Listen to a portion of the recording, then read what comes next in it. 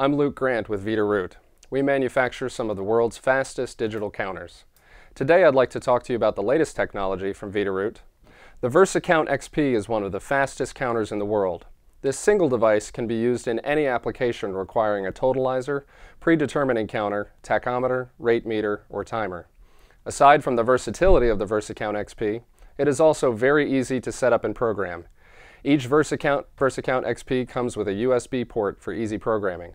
Simply install the free online software to your computer and set up the various parameters as you will need for your application.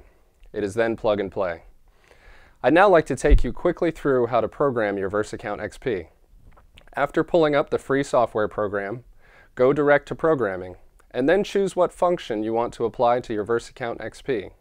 Today I'm going to choose Preset Counter. You will now see all of the functions and parameters that you can select to configure the VersaCount XP to your precise needs.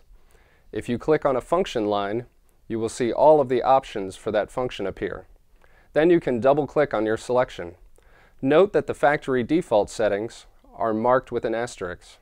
For example, if I want to change my counter mode, which sets the functions of three inputs, A, B, and C, I click on that function and then make my selection.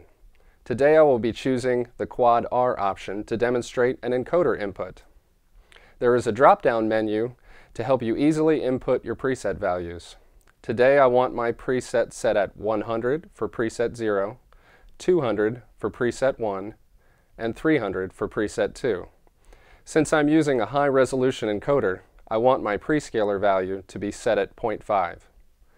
Once you have completed setting your parameters, you can save the file to your thumb drive using the Saving as Global configuration option.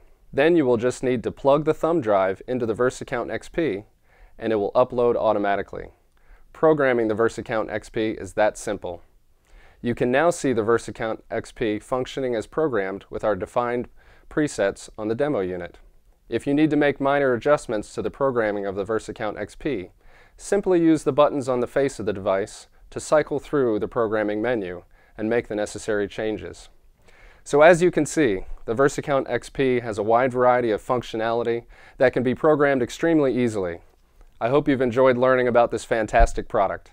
To learn more about the VersaCount XP and other Veeder-Root products, visit our website at www.danaherspecialtyproducts.com. Thank you.